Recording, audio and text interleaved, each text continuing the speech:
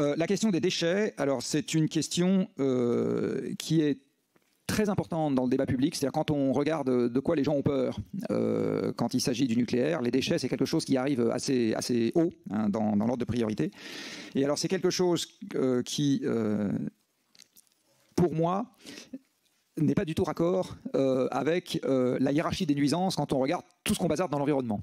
Euh, c'est-à-dire que quand on regarde tout ce qu'on bazarde dans l'environnement, le CO2, les phytosanitaires, les particules fines, etc., en fait, les déchets nucléaires, pour moi, ça peut-être faire sauter en l'air quelques personnes dans cette salle, mais c'est vraiment du, deuxième ordre. Enfin, c'est tout petit.